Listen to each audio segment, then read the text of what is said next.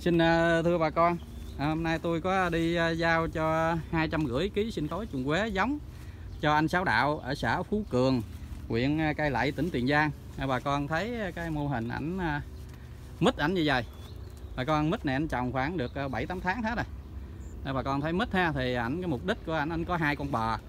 À, ảnh à, lấy cái phần bò ảnh nuôi con trùng quế và ảnh lấy cái con trùng quế ảnh cho lương cho cá cho gà gì của ảnh ăn. Còn cái phân thì ảnh vô mít thì bà con thấy đây buổi trưa khoảng có 10 giờ nắng chứ.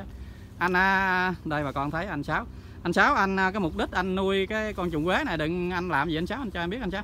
Thì ờ, nói chung giờ mình cũng lên mạng mình thấy con trùng quế nó có hữu ích cho nông nghiệp đó dạ. Ờ, mình sẵn nuôi bò thôi mình cũng gắng làm mình mình à, lấy ra nếu mình thành đạt con trùng quế là mình sẽ nuôi lại gà vịt dạ. Lương. Dạ. Còn cái phân? à, cái phân là mình bón vô cái gốc mít mình. Dạ hoặc rồi. qua trồng thêm qua màu. Dạ dạ rồi em cảm ơn. Vậy thì à, bà con thấy đây à, cái này tôi chỉ cho anh sáu theo cái cái kỹ thuật là nuôi trùng quế ít tốn công đây. Bà con thấy một cái học của ảnh à, ảnh làm gì bà con thấy ha? Cái này là bề ngang nó khoảng tương đối 2 mét chiều dài này tới 30 mét. Là tính ra nó lượng lượng khoảng 60 mét vuông 60 mét vuông nhưng đều anh Sáu đã đổ vô phân bò. Trong cái học này khoảng ờ, một tấc cho tới tấc rưỡi rồi. Thì cái này tôi sẽ chỉ cho anh Sáu. Là hai trăm rưỡi ký sinh khói giống sẽ đổ lên bề mặt của phân nửa của cái học này.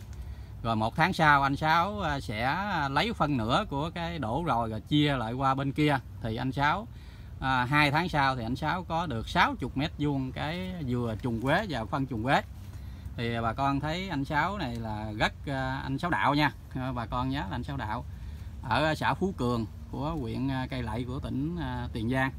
Thì bà con thấy đây bà con mình à, bây giờ à, nuôi bò thì nên nuôi trùng quế nha bà con thấy cái học này.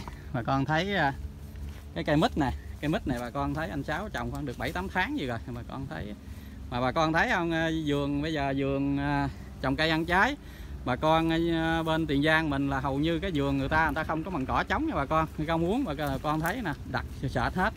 Vườn đều có cỏ hết chứ không có bao giờ người ta để cái vườn trống.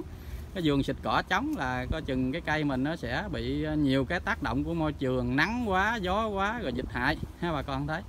À, và anh sáu anh cho em hỏi thêm nữa thì cái à, cái cái vườn mà mình trồng cây mít như vậy thì mình có nên dọn cỏ trống hay là mình à, mình để cỏ để mình tận dụng mình cho bò mình ăn anh? Thì nói chung mình cũng đi hội thảo á. Dạ. Bên, mấy anh em kỹ sư nông nghiệp là coi như là là nên khuyến cáo mình là vườn mình đừng nên là xịt xịt thuốc cỏ.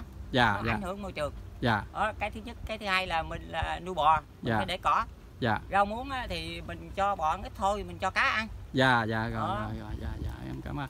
Thì bà con thấy uh, tôi đi uh, chạy trùng quế hai ngôn của tôi chạy trùng quế hai ngôn vĩnh long á tôi là hai ngôn thì tôi đi đến đâu tôi đều có quay một cái clip nho nhỏ. Thứ nhất là tôi để kỷ niệm thứ hai đó tôi chia sẻ với tất cả bà con nào có nuôi bò ha. Rồi à, nuôi trùng quế thì à, những cái mà cái lợi ích của nuôi con trùng quế nó như thế nào thì bà con thấy cái trại trùng quế hai ngôn vĩnh long của chúng tôi đây thì tôi đi tới đâu tôi đều à, bà con nào làm có hiệu quả thì tôi đều ghi lại hết. Thì bà con thấy cái mô hình này là mô hình rất thiết thực để bà con mình nhân rộng ra ha bà con? À, thôi tôi có một cái clip nho nhỏ à, tôi xin chúc bà con được nhiều thành công trong lĩnh vực à, chăn nuôi hữu cơ. À, tôi à, xin chào bà con.